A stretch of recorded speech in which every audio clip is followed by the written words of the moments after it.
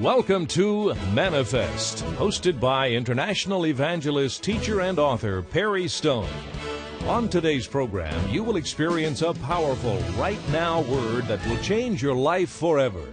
Enjoy unique insight into prophetic and practical truth as Perry ministers using biblical word studies, ancient Jewish history, and Hebrew customs that will cause the scriptures to come alive as never before. It's time to feast on fresh manna, so get ready to be blessed and encouraged. And now, here is your host and teacher, Perry Stone. Hey, let me just say it to you this way Cain had the problem of bitterness, Cain had the problem of jealousy, and Cain had a root that was in him that he, he couldn't forgive the fact that God appreciated his brother's sacrifice more than him. Unforgiveness, strife, jealousy, bitterness. Let me give you the four things that happened to Cain. Everybody ready? Say, I'm ready. Number one, Cain became fruitless. The Bible said that Cain would till the ground, but the ground would not produce fruit. Oh, what a message that is. When you get in bitterness, strife, and unforgiveness, you will bear no fruit in your life. And you will plant your seed in offering after offering. I could go ahead and preach right here.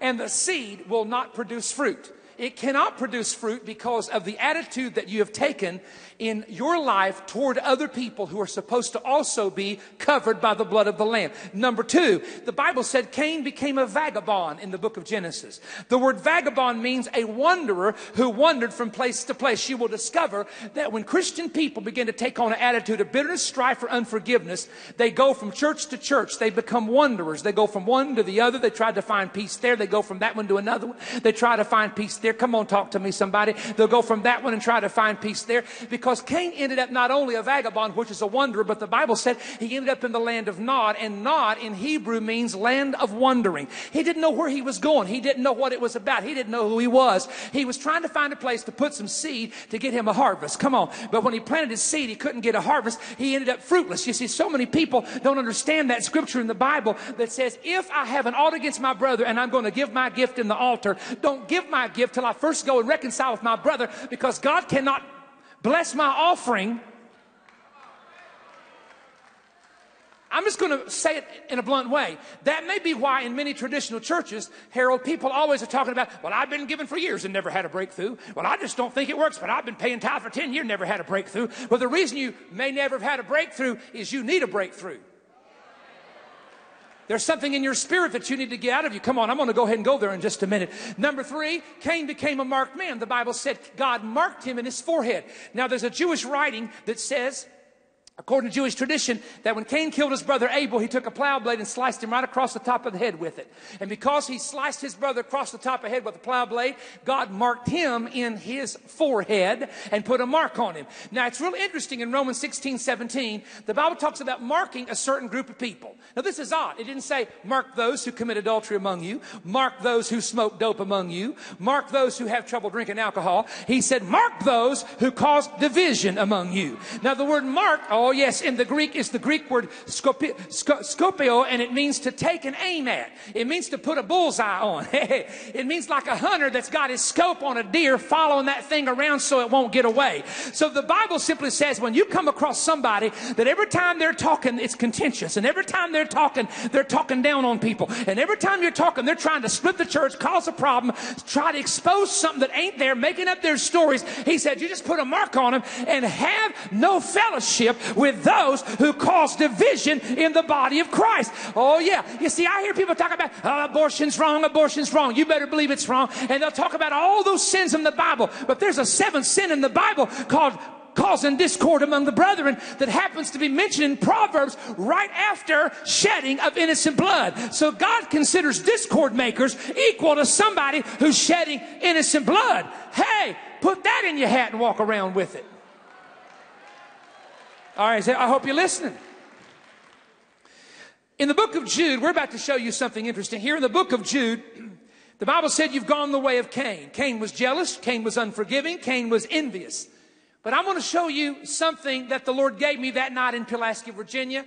and we're going to develop this. I had a friend of mine named uh, Dr. David Van Koevering. Some of you know him. He's a genius. He's a scientist. He's a researcher. He's an inventor. He's into sound and sound molecules and photons and protons and atoms and uh, everything else. In fact, he gets so deep with me sometimes he loses me, okay? But I'm going to share something with you because when I sat and told him this, his eyes got big. He said, Oh my goodness, Perry, I've never thought about that in my life. And he was contacting a doctor in Nashville who's a Christian doctor to start investigating what I'm saying because I think we've tapped into something. Oh, are you ready to go there? Unforgiveness alters the blood in the person who's unforgiving. I'm going to say it again. Unforgiveness alters the condition of the blood in a person's body who is into strife and bitterness and unforgiveness. See, y'all looking at me like, you know, don't ever look at me like that because I'm going to prove what I'm saying. You know I'm not going to get up and say something without proving it to you. Y'all ready to go here? Last year I showed you something and people became so curious with this that they went home and did studies on their own. And everybody that did the study, in fact, Rabbi Landry said, my young people didn't even believe it. He said, my youth group did it and said it was true. David Vancouver said, Perry, there's probably been a thousand experiments done on that and every one of them have proven to be true. And it has to do with things that you say. I'm going to show you a picture, number five, guys, of Gary Townsend. Gary Townsend began an experiment on April the 1st, 2008, where he took a batch of organic basmati rice and boiled it in one pot. He put the same amount in two of the same jars. He put the same lids on them. He kept them in the same place. All of a sudden, are you listening? After 81 days, on June the 22nd, something strange had happened. And that is, one of those jars of rice was still so clear and clean that it looked like you can eat it. Let's go to the next slide, guys. But the other one had turned completely moldy. Now, this is not a different experiment. This is the same experiment. Now, you may say to me, what did he do to make the moldy rice look moldy and the other rice still at least look like it was rice and you could know with no mold in it? The answer are words. However, words were never spoken, words were written. Here is what he had written on the jar of the good rice. I love you. I hope you last a long time. Nice rice. On the jar where the mold occurred, he wrote, I hate you. You are bad rice. I hope you die. Now, I asked Dr. Van Koevering, who has done these experiments, I said, How do you explain that words were never spoken? He said, Because when Jesus looked at the Pharisees, he knowing their thoughts. He said, It's called intent. He said, you can read somebody's intent. When you walk around, there's a guy that's got a gun on his hip and he's looking at you. You can tell by looking at him if he's up to no good. Come on, talk to me. Pull up at a gas station late, late at night and start looking at the characters, some of the characters hanging out at the gas station, and you'll find out intent real. Because you'll, you'll read intent and say, honey, we need to go up to the next exit before we come on. I'm talking to you here. Intent can be seen, intent can be felt, and intent can be deserved. And what you have here, someone says, Well, I don't know how that's possible. I'm going to tell you how it's possible. The Bible is written, the Bible, and yet you can read it. All you got to do is read it, and things begin to happen on the inside of your spirit by the reading of the Word of God. Well, if you don't think that's a little unusual, the water study. I asked Dr. Van Koevering, I said, have you conducted this? He has. You have to have a microscope. In fact, he told me that when we get the youth thing going, he'll get a microscope and we'll bring all the young people in and he'll do this experiment right there for everybody to see it. You have to have a cert, and he's going to have to check at Lee University to see if they've got this, this particular microscope that you have to have. Ready? Here it is. Now listen carefully. How many of you know, how many of you know that we're made of two things? Can anybody tell me what we're made out of? And what else? Dirt and water. Hello? We're made out of dirt and water. Hello? God made man from the dust of the ground. From dust you came, to dust you shall return. We're dust and water. We're dirt and water. Okay. Dr. Masaru Emoto, a Japanese researcher, did a documentary on his research with water, and this was extremely interesting. He's taught that thoughts and feelings of thoughts, if I say thoughts and feelings affect physical reality. So they wrote down thoughts and then they spoke words, and they also used music in a water research. They used a, uh, a certain type of microscope uh, where you could really zoom in, a cold room, high speed photography. And they took water from bottled water, water from rivers, etc. And they found out, and everybody listen, that when you speak over the water and even put writings around the water, it begins to change the crystal structure in the water. Well, this is all, Dr. Van Koeven said it's all, it's all documented, Perry. It's true. Show them the picture. Water on the top left and left side before prayer and after prayer. Heavy metal music deteriorates the crystal completely, the molecule. I love you. Look at the snowflake look. You make me sick deteriorates the water. Thank you. Look at the crystal that it forms. And I've asked Dr. Van Koevering at some point to either come on the Manna Fest program, we're going to do this and tape it to show people this is not something hokey. Now, it doesn't take you long to understand when you hear researchers, some of them secular, talking about the power of words and the power of music, that your brain is 80% water. I hope somebody's getting what I'm trying to get across to you.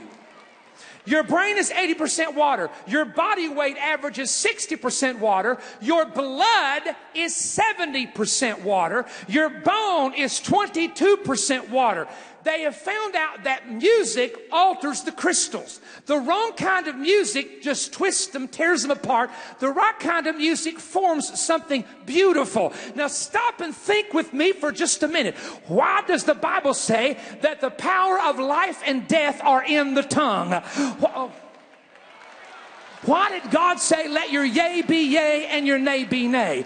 You know why you get depressed? What is depression? Stop and think about it. You feel it in your mind. You feel it in your spirit. You feel a weight come into your body. But what is depression? When somebody starts looking at you and cussing you out and downing you and make you feel bad, what's causing it? There's an alteration taking place, you hear me? In your physical body. If your brain is 80% water, imagine what it's doing inside of your your brain, to the electrodes of your brain. If your body is a certain percentage, imagine what it's doing. Oh, come on, help me preach here, somebody, please. Let me show you something else that's interesting. It's called laminin. Some of you have seen this, some of you may have not. Laminin are a family of proteins that are an integral part of the structural scaffolding of basement membranes in almost every tissue. They help hold everything together almost like a glue that holds cells one to another. The odd thing is the shape of laminin. It's in the human body. Has the shape of a cross. And it's the arms that pull things together. In case you didn't know it, it was the cross that brought life. It was the cross that defeated death. It was the cross that's going to bring you a resurrection. It was a cross that got you free from addiction. Come on, are you listening to me? It was what happened on the cross and God even put a, put a particular shape in the cells of the human body that would be a picture of what was going to happen with redemption. The chambers of the heart. If you take the chambers of the heart and you slice a heart in half, it forms the shape of the 21st letter of the Hebrew alphabet, the letter Shin.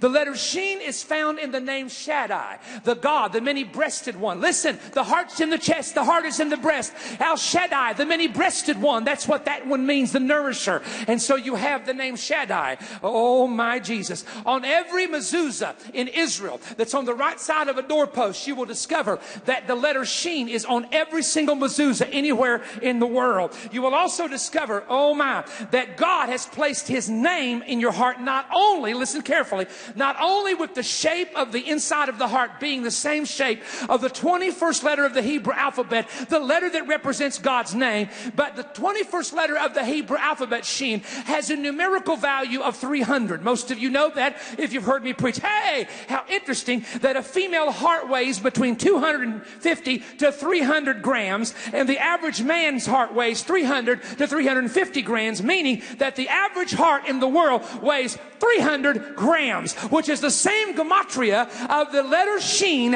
of the Hebrew alphabet that represents, oh my, that represents the name of God. Now, interesting enough, in every heart, there's four parts. There's the outer covering, there's the heart wall, there's the chamber, and then there's the heart valves. A sheen has three heads. However, in Jewish mysticism, there's what's called the four letter sheen. And the four letter sheen means the life to come. In other words, when you see a four letter when anywhere, it means the life to come or eternal life or the life that lies beyond this life. Oh, by the way, let me just tell you that the symbol of the letter sheen, because every letter of the Hebrew alphabet has a symbol. Aleph is an ox. Bet is a house. Gimel is a camel. Dalet is a door.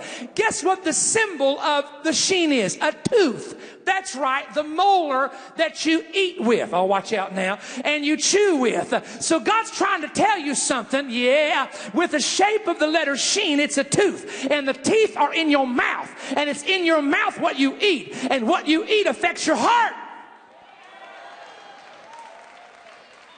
But not only does what you eat affect your heart, what you say affects your heart. Life and death are in the power of the tongue. Proverbs 18, 21. The words I speak unto you, they are spirit and they are life. John 6, 33.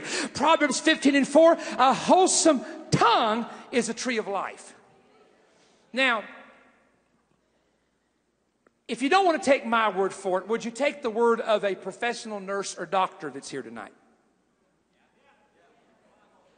Okay, Ellen, come up here. Here's a lady who's been with our Daughters of Rachel ministry from the beginning with Aunt B, who several years ago was in a hospital dying.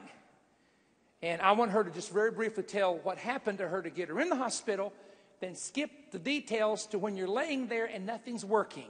And what the doctor told you about the language is just what you told me at Pulaski. Take it and preach.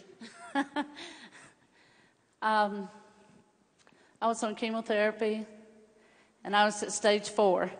And the doctors told me, they said, There's nothing more we can do for you. You need to go home and don't come back. Get your house in order.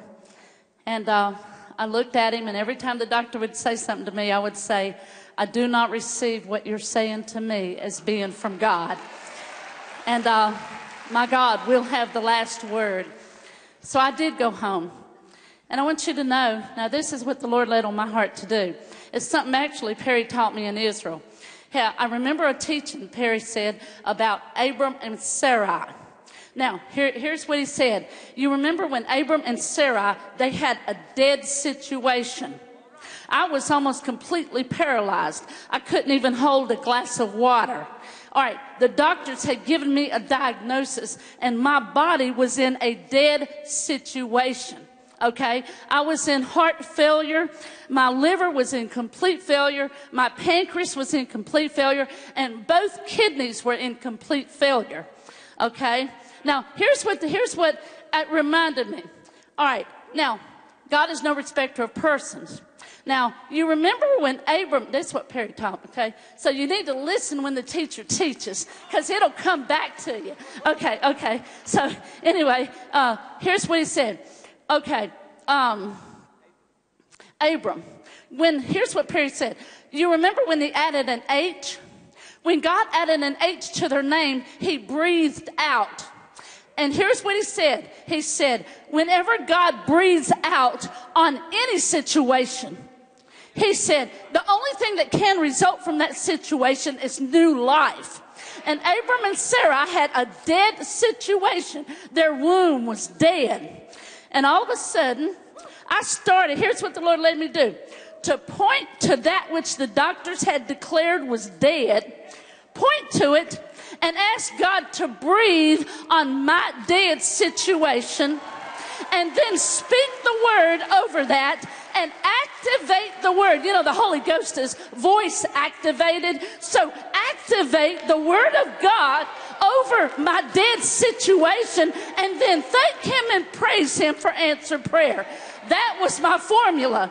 So I started going all over my body. Everything the doctors had declared was dead every single day. And I love what Perry said about the word. I never thought about it, but when I was in the hospital and they had you in those beds, the rails are up. I had them get type and paper, big black magic markers. I had the word written out. And everywhere I turned, the wall facing the bed, if I was on my back, uh, every bed rail had the word to where it didn't matter what side I laid on or on my back, I was facing the word, thanking God and activating that word. Okay. The language. Okay. I was in the hospital, and now here's something as a registered nurse for over 25 years I did not know. The doctors explained to me at Baptist Hospital, they said every system in our body has a language. I did not know that. Okay, here's the thing. Uh, he said, uh, We want to check your muscles out and see what they're saying to us. And I said, Explain this because I've never heard it before. And they said, Here's how we can ex- explain it. You know, when a woman has a baby and they hook her up to a sonogram, the sound, it's by sound. And they said, hook you up. And they said, the little beat, beat going across, the line's going across. And they identified it and they said, that's the sound of the mother's heartbeat. That's the sound of uh, the baby's heartbeat. That's the sound of the placenta. All the parts of the brain are speaking the language, and the doctors in their specialty are trained to interpret language. Okay, so here's, here's what happened. Uh, they hooked me up because my muscles were dead. And the doctor said, they said, now we can't do anything that's dead, but maybe we can somehow treat what's still living. So they hooked me up head to toe with muscles, and they said, um, I was laying there, and there's four doctors at Baptist Hospital, and they said, they were looking at the TV screen, and they said, What's going on? What's going on? And they couldn't understand what the machines were saying. And so the four doctors, and they said, evidence of healing, evidence of healing. And the other doctors were like, impossible, impossible. Okay, so here's what they said. I was laying on that bed, and here's what came to me. All of a sudden, it came to me that, wait just a minute, you just told me, every system in my body has a language when I was filled with the baptism of the Holy Ghost, it was not just my tongue that was filled, but every part of my body that carries the life of God and has a language is speaking in tongues. And it came to me that if you are not of the family of God, you cannot interpret the language of God. Here's what I did. The doctors were saying, impossible. What, what are they saying? And the other specialists were saying, I don't know. I don't know. I can't understand it. And here's what I did. I leaned up on that bed and I told the doctors, I said, doctors, I can interpret what those machines are saying. I can interpret what my muscles are saying. And they said, you what? And I said, I can tell you what my muscles are saying. And they said, All right, go on and do it. And I said, Now realize, before this, I was paralyzed, couldn't move. Okay? I started shaking this arm, and I said, Doctors, the muscles are talking in this arm right here. Wait a minute, the muscles are talking right now. And they're saying Psalm 107, verse 20. I sent my word to heal you and deliver you. Wait a minute, doctors. This is talking. Wait a minute, doctors. This arm is saying, Isaiah 53 5, by the stripes of my Lord Jesus, I am healed.